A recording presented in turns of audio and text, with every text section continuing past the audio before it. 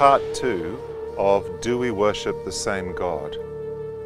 How do we go about answering this question of whether we worship the same God? It might seem like a simple question, but actually it's not a simple question. You can't just go by the name.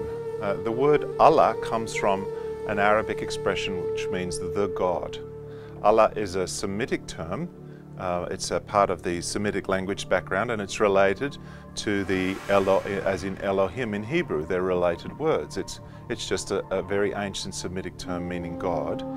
And uh, the God became then the, the title apparently uh, for a particular God in the Arab pantheon. Uh, Muhammad's uh, father was called Abdullah, so slave of Allah.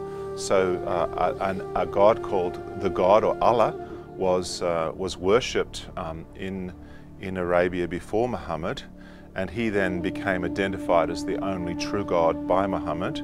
But really, it's not about the name. It's not about whether we call Allah Allah or call him God. It's about more than just the name. It's about what stands behind the name, and that's what I'm going to speak about.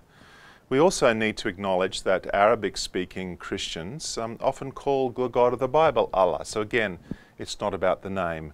Uh, in English, we call God God, and that's a word that's come from Germanic tribes who use the word God to refer to deities like Thor and Odin and so on. They, early Christians took the word God and applied it to the God of the Bible. So it's not about the actual term you use here, it's about what stands behind the term.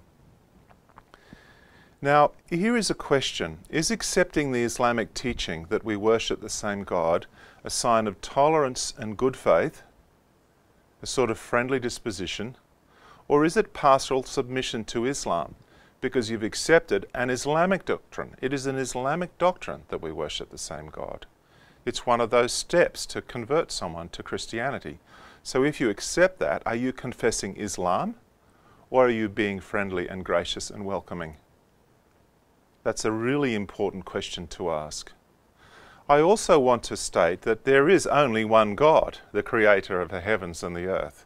And that's something that's very important to emphasize. If someone asks you that question, a Muslim asks you, well, there is only one God, isn't there, the creator of all things? So we're not debating about that at all. Now, um, it's interesting that sometimes uh, people have very different views about this. And John Chesworth, who was educating um, people working in missions in Africa, I think he's now based in the UK, um, he said that when they got people coming into their programs, they asked the students to make up their mind at the start. He said, This leads us to a dilemma that Christians involved in working amongst Muslim communities have to decide as they begin their work.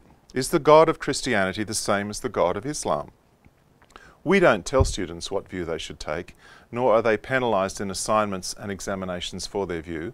The key issue is that the students make a decision as to what they believe as it shapes the way in which they will relate to Muslims. Now, that's a sort of generous and inclusive approach to take, but the question is, um, will your view remain stable? I, I, had a sort of practical working view that it was the same God, but maybe someone's view of that might change as time goes by. You can uh, develop different views if you understand the Quran better or study the Bible more.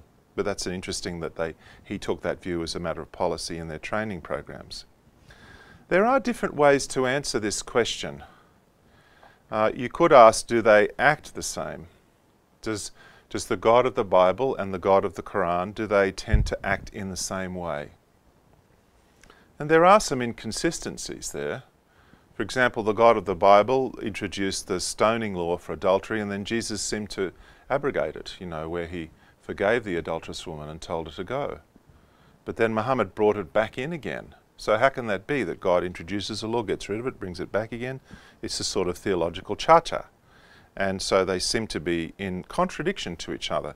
The God of the Quran says that the covenant with the Jews has been abrogated, but the God of the Bible says that he will never abrogate his love for the Jews or his faithfulness to them. So they seem to have some ways in which they act a bit differently. Do they teach the same things? That's a good question.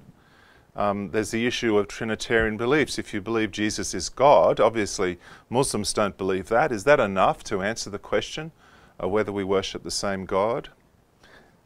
Do they have the same attributes? Are they the same in their attributes? And it's important not just to look at some similarities, but to look at look for key differences as well. We um, have to acknowledge that Marcionism is not an option. Marcion was a theologian in the early, or a teacher in the church in the early centuries, and he argued that the God of the Old Testament was different from the God of the New Testament. He developed a theology of two different gods. And that was rejected as a heresy in the early church. So it's not an option to say, oh, Muslims worship the God of the Old Testament, whereas we worship the God of Jesus. I mean, I sometimes hear people say that. It's complete crazy talk, crazy talk. Because um, the God of Jesus is the God of the Old Testament. His Bible was the Hebrew Bible. That was, his, that was the God that he spoke about. So Marcionism is just not going to work. Um, but it's well worth realizing that that's, that's something that's been dealt with a long time ago. It's also important to acknowledge that the God of the Bible and the God of the Quran have quite a few attributes in common. They're both the creator. They're both a merciful judge. Mercy might be understood somewhat differently, but that's basically in general terms. They both engage in revelation, revealing uh, words to people. They also share the omnis, omnipotence, all power, omniscience, all knowledge, and omnipresence, everywhere present, although that is an issue I'd like to come back to, the question of the presence of God. So they share quite a lot in common. But you see, having some things in common is not enough to establish identity. There were two presidents of the United States called George Bush, and they both had a similar accent, uh, but they were quite different presidents, and you'd have to look for their differences to understand that they were different, not just look at the fact that they had similar names. A few similarities don't make identity. I mean, we share a lot of things in common. We have two eyes and two legs and two arms, and we have hair and so on, some of us more than others. And, uh, but, you know, no listing of all those similarities will establish identity.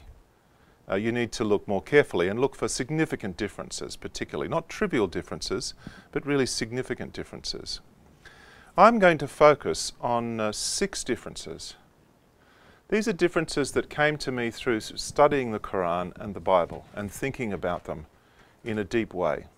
They're differences that can be explained uh, uh, in both the New and the Old Testament. That is, they're attributes of God, where the New and the Old Testament show consistency in the way they speak about God.